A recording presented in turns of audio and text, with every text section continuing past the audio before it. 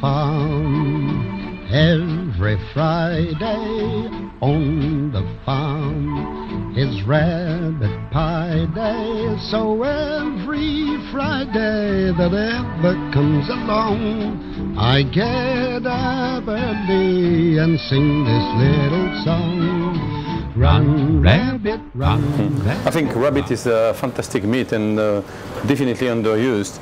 Uh, this is very easy to uh, to prepare. I think some people are put off with uh, you know what to do with the rabbit. So I'm going to show you how to um, a rabbit, which is quite easy. Um, let's start. So firstly, take out the liver, then the kidney. Um, separate. Then take out the shoulder.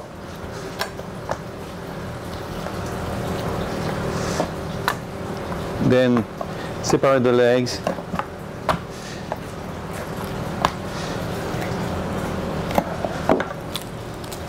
One, two, take out the back, backbone. Then we have the, all the part of the rabbit. Now I can, here we have the saddle, which is um, full of bones, so little tricky bones. So I'm going to cut them, take them out. It's quite uh, complicated things to do the, the saddle because you have all these little bones and it looks a bit like the back of a dragon. So imagine the back of a dragon and just go around the bones.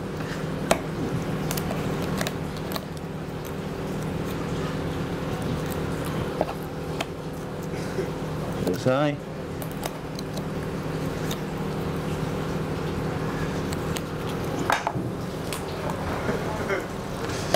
Let the saddle completely bone out, all in one piece, roll it out. That's it.